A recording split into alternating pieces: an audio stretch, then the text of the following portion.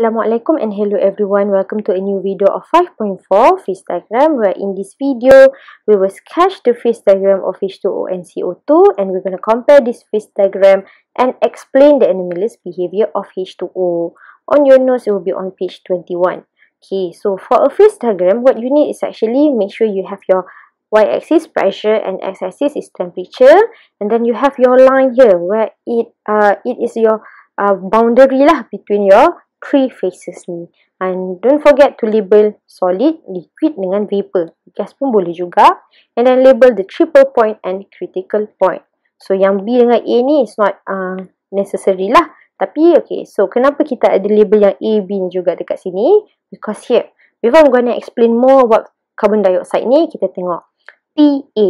TA ni, uh, this line uh, from our triple point ni yang A ni kan, So, it represent the variation of sublimation. So, kenapa sublimation?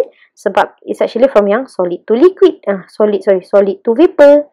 Okay, so contohnya TB. Okay, TB from our solid to liquid. Solid to liquid, dia akan jadi melting. So, sebab itulah variation of melting.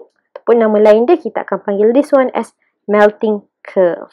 Okay, and then we have our TC here. Yang line from T until C ni, yang liquid to vapor kan. So, it's a boiling. So yang ini is actually a curve. So we call it as boiling curve. So in terms of explanation, uh, Miss akan banyak explain in terms yang melting curve lah. Yang this part. So I'm just gonna um, highlight it here. Okay. So this one.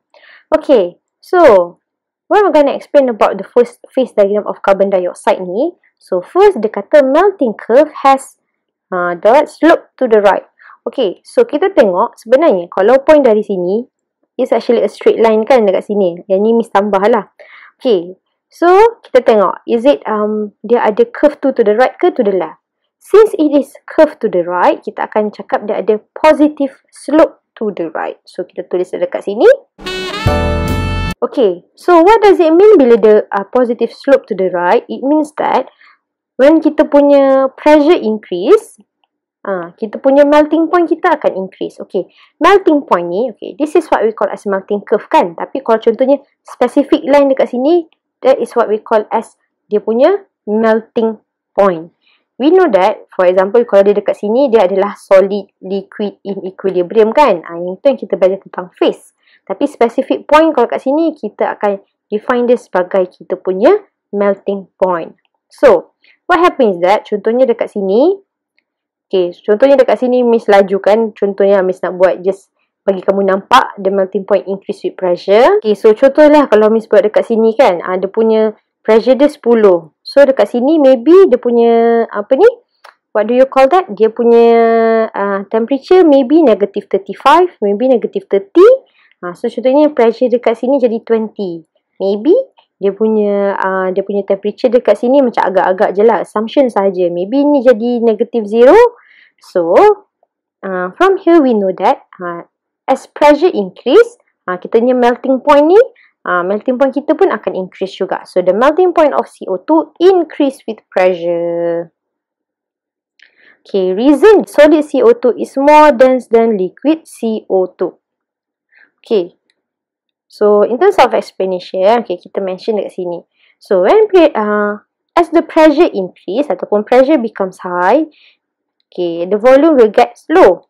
Okay, when the pressure increase, okay, remember, pressure becomes high, the volume gets slow. So, bila kita tengok dekat sini, the kinetic, uh, the kinetic molecular theory itself lah. So, kita nampak sebenarnya, okay, kalau kita ada pressure, uh, the volume is high ataupun the pressure is low, we have lots of spaces lah for the particles itself. For the molecules itself. Tapi contohnya kalau dia punya volume will gets low, what will happen is that the IMF, apa ni?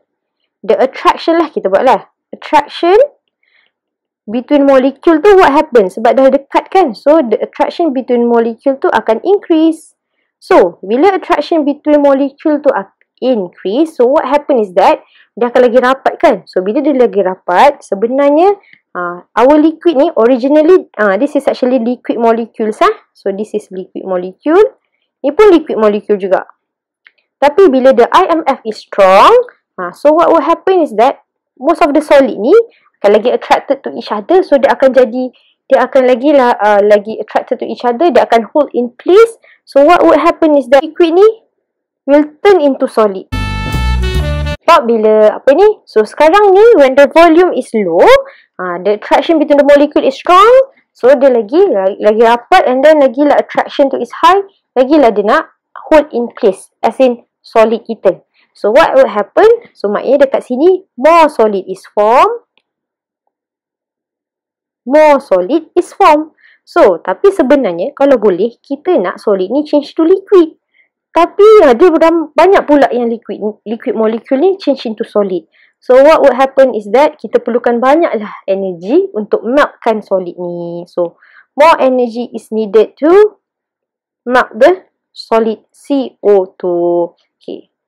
So, ah, sebab itulah Ya, yang for the case of carbon dioxide ni ah, is actually memang case untuk uh, kalau kita punya syllabus memang CO2 dengan H2O je kita belajar tapi most of the molecule memang ikut CO2 itself. Remember sebab when the pressure becomes high the volume will get low so banyak solid nak form sedangkan we want to change the solid to to our liquid. Ha, so sebab itulah more energy is needed to melt. The melting point will increase.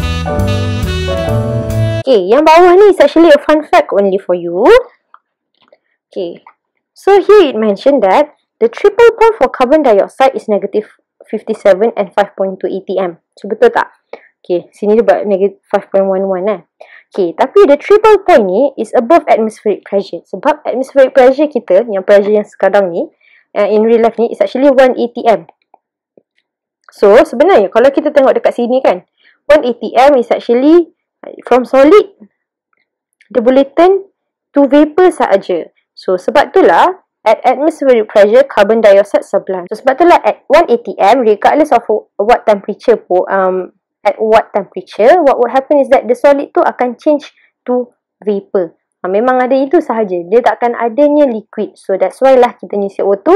Ha, memang CO2 familiar kita CO2 gas lah kan. Ha, and then we have solid CO2 juga. Kita punya dry ice. Tapi liquid CO2 ah itu kita tak familiar lah. Memang tidak ada pun pada 1 atm ah, atmospheric pressure kita. Okay, so that's for carbon dioxide, phase diagram carbon dioxide. So jom kita tengok um for the phase diagram of water pula. Okay, so dia ada exception. Again, what we what we're gonna discuss is actually this one TB. TB ni yang melting point kita. Okay, sebab dekat sini yang ada exception. Kita tengok dekat sini, ni sama saja bentuk dia. Yang ni pun sama. Tetapi this case, uh, this one is different. Our melting curve. So tadi dekat sini, bila kita buat straight line kat sini, kita nampak dia ada positive slope to the right kan? Tapi sebenarnya, kalau untuk water, dia punya curve tu to the left. Okay. Tapi dia punya point ni masih lagi slope to the right. So, for water ni, melting curve has negative slope to the left. So, it's different lah. Ha, terbalik yang tadi what will happen of water uh, what will happen for water ni the melting point ni akan decrease with pressure tadi increase pressure kan untuk CO2 untuk kita punya uh, water ni dia akan decrease with pressure okay why sebab liquid H2O ni is more dense than kita tulis kat sini lah is more dense than our solid H2O Okay. So, kenapa? So, if you still remember, okay. Kita tengok balik pada formula density kita. Okay, density is equal to mass over volume. Okay. So, for solid water, okay. For water, ah, water tu kita tahu liquid kan. For solid water ataupun ice ni, okay, it will, um, apa ni, have tetrahedrally bonded. So, ada maximize, dia akan maximizekan space. So, what happen is that, for solid water, volume is high, So, bila volume dia high, density dia is low. Density low. Tapi untuk liquid water, dia ada round pula lah. Dia tak occupy banyak volume kan. Tak occupy banyak space. So, volume dia is low. So, dia punya density is high. So, sebab tu lah, kita kata, uh, sorry, kita kata ice tu is more dense than water. Setelah kalau kamu minum, ice tu memang akan float lah. Uh, kamu punya ice akan float uh, dekat air tu sendiri. Ha. Tak adalah ice tu dekat bottom kan. Because um, our ice is less dense than um, ice ni is less dense. So kat sini dia kata liquid H2O is more dense ataupun solid ni is less dense than our liquid H2O. Okay, so what happens that, remember that, okay, bila pressure, kita tengok dekat sini kan, because for the case of melting curve ni, kita akan tengok increasing pressure. So, when the pressure becomes high, the volume will be uh, will get low. So, bila volume will get low, uh, it, uh, apa ni, our molecule itself dia kalau volume low ha, nak ke dia jadi solid? Ha, kalau volume low most of the solid will change into liquid state. So dalam kes ni kita tak perlu supply energy pun untuk dia jadi liquid. Ha, the water itself ni dia sebab dia um, sebab dah volume is low ha, dia sendiri akan bertukar jadi liquid.